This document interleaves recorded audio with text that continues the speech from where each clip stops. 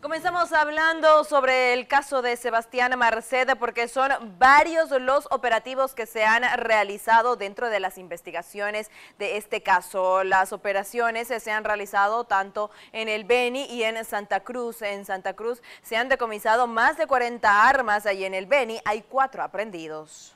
La policía intensifica los operativos con el afán de capturar al narcotraficante uruguayo, hoy prófugo de la justicia boliviana, Sebastián Enrique Marcet Cabrera.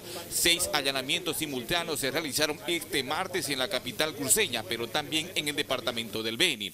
En los operativos se logró encontrar armas de fuego, pero también identifica a las personas probablemente que le dieron cobijo a Marcet durante este tiempo que se encuentra prófugo. Se han tramitado órdenes de allanamiento a nivel nacional, lo que permite una actividad paralela en el departamento del Beni y en la ciudad de Santa Cruz con la finalidad de ubicar físicamente al señor Marcet. Se están investigando los vínculos que hubieran podido brindarle algún tipo de cobertura desde el punto de vista, vamos a llamar bélico, desde el punto de vista económico y desde el punto de vista de la protección legal. Se ha recibido información de inteligencia eh, que nos permite afirmar, por lo menos de manera preliminar, que existen en este domicilio armas de fuego que indudablemente no se encuentran registradas.